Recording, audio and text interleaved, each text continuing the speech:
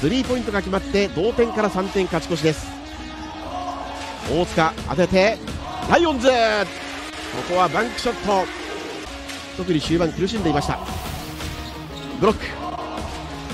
ボールを奪ったバンビサス。さらに奪ってレイアップ。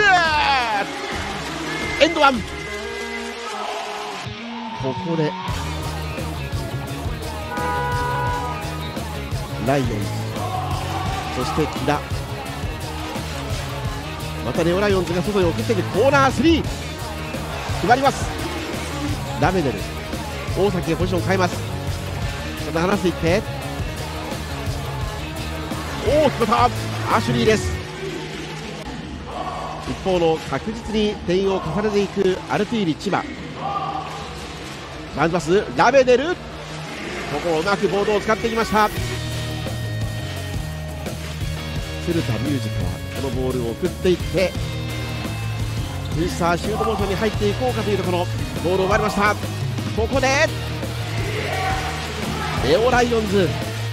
第3クォーターが始まっています。外アシュリーが外6 4秒から3秒になってフェイドアウェイ。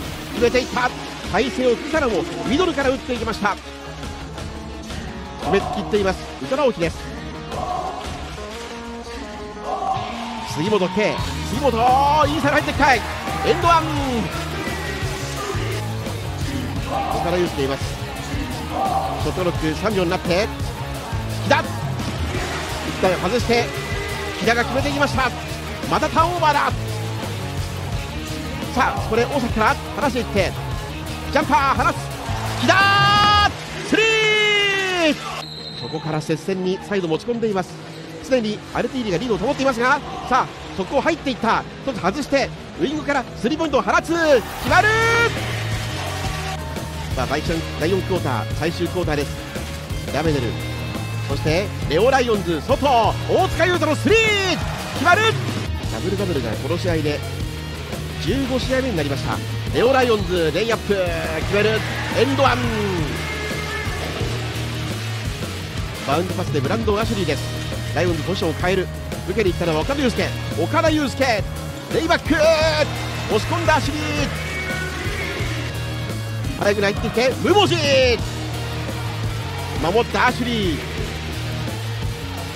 速攻行ったんですが送っていって。レイアップ決めた。レオライオンズ。ガベデル。ショットロック5秒。アシュリーレイバックから。エンドワン。